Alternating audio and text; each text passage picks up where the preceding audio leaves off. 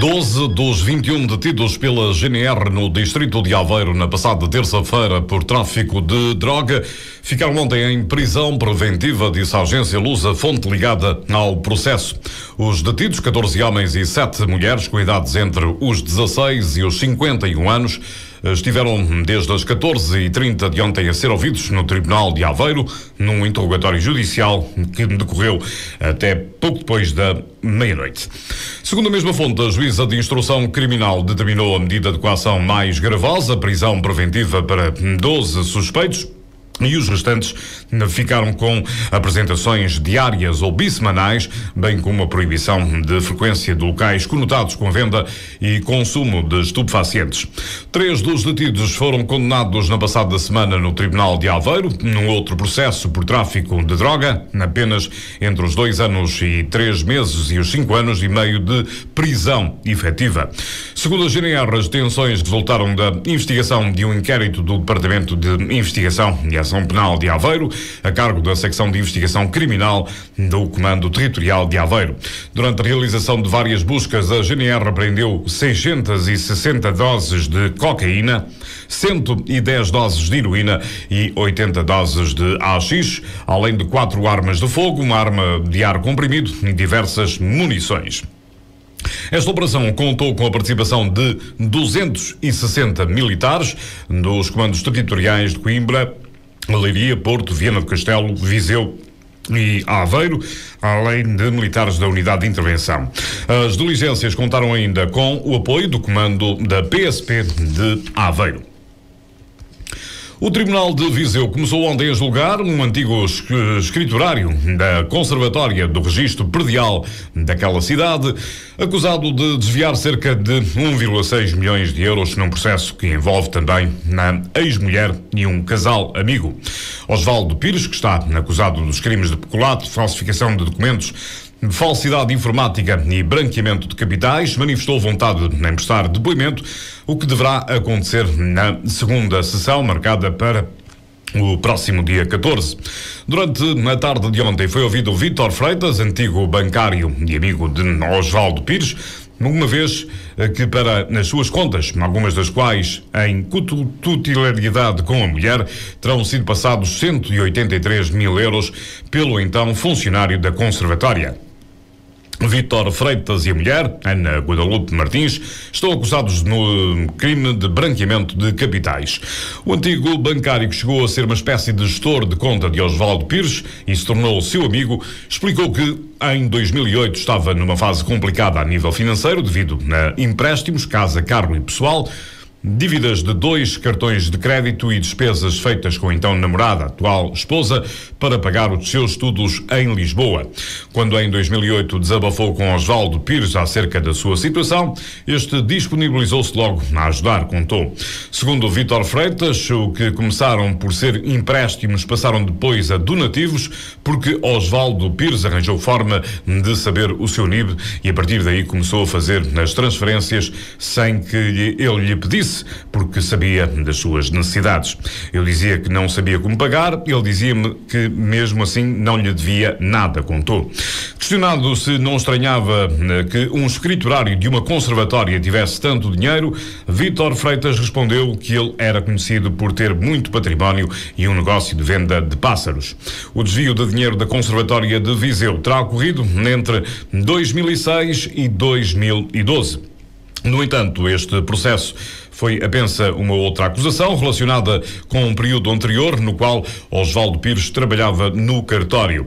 O advogado de Osvaldo Pires só eh, ontem teve conhecimento da acusação relacionada com o cartório, tendo o coletivo de juízes optado por ouvir este arguído só na próxima sessão. Foi no âmbito desta acusação que foi ontem ouvida Maria Helena Pires, separada judicialmente de Osvaldo Pires, apesar, de viverem na mesma casa, que está acusada de branqueamento de a mulher admitiu que, a pedido do marido entre setembro de 2002 e setembro de 2004, fez vários depósitos de dinheiro em contas das quais eram cotitulares, mas pensava que a origem deste era de venda dos pássaros.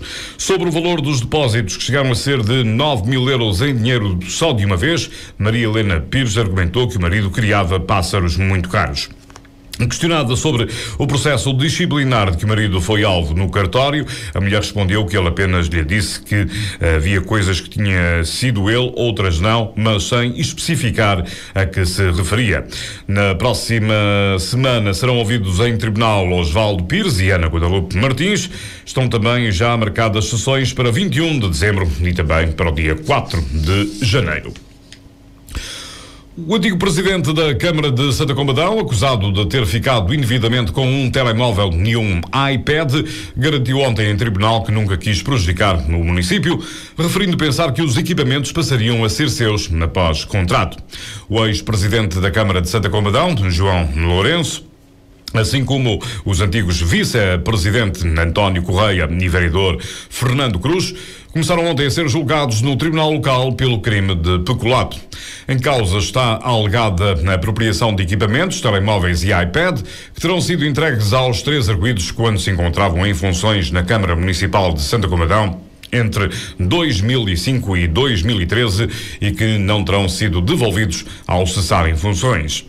Durante a primeira sessão do julgamento, o antigo presidente da Câmara de Santa Comadão referiu que, depois de ter perdido as eleições em 2013, a primeira coisa que fez foi pedir a portabilidade do número de telefone que usou enquanto esteve em funções.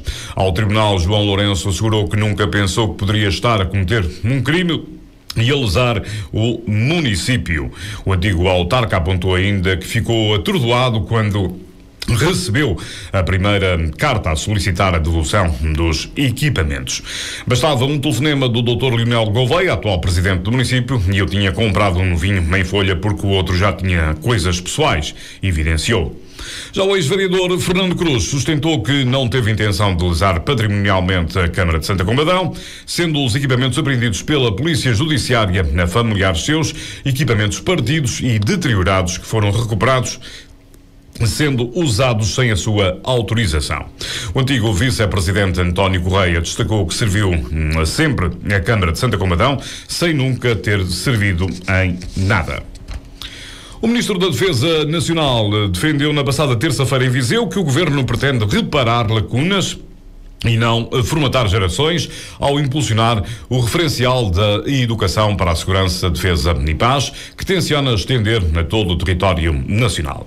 No final da assinatura do protocolo quadro da implementação do referencial de educação para a segurança, defesa e paz com os municípios do distrito de Viseu, que decorreu no Regimento de Infantaria 14, Azeredo Lopes aludiu aos valores da cidadania que diz terem desaparecido do sistema educativo. Eu, sobretudo, gostava que ficasse claro que não queremos formatar uh, gerações. Do que se trata, no fundo, é de reparar uma lacuna que nós, uh, nós, e quando falo em nós não estou a criticar ninguém, estou a falar de algo que temos que assumir coletivamente, de alguma forma desleixamos durante demasiado tempo. Isto é, no sistema educativo, pura e simplesmente tínhamos deixado que desaparecesse qualquer referência a valores de cidadania fundamentais na parte em que envolvem uh, as questões ligadas à segurança, à paz e à defesa. E, portanto, desta desta, desta forma.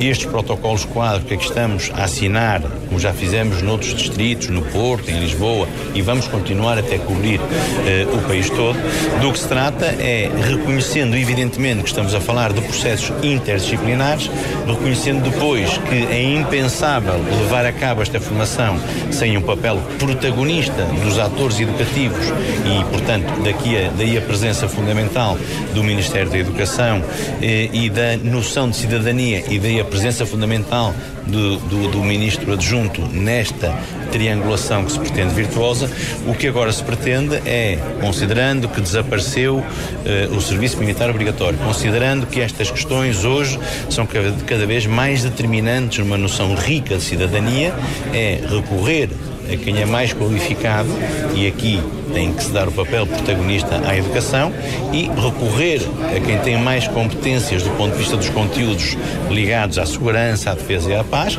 e daí o papel também protagonista da defesa nacional, e fazer uma relação virtuosa que articule o poder local, com as enormes competências que tem na esfera da educação, a educação do ponto de vista formativo e o Ministério da Defesa como impulsionador e como fornecedor de conteúdos. Azeredo Lopes, ministro da hum, Defesa Nacional, que esteve na passada terça-feira em Viseu, na assinatura do protocolo quadro de implementação do referencial de educação para a segurança, defesa e paz, com os diversos municípios do distrito de Viseu. E durante o corrente mês de dezembro, todos os dias úteis, das 9 às 17, nos passos do Conselho de São Pedro do Sul, está patente uma exposição de árvores de Natal. Trabalhos que foram realizados eh, com imaginação e criatividade pelas crianças dos jardins de infância e do primeiro ciclo do ensino básico do Conselho. Uma exposição a ser visitada. Hoje tem lugar em Valadares mais uma iniciativa do Intercultura 2016. Ação agendada para o recinto das festas de Valadares, com atuações do grupo Os Volguinhas e também do grupo de Cavaquinhos da Casa do Povo de Alcofra.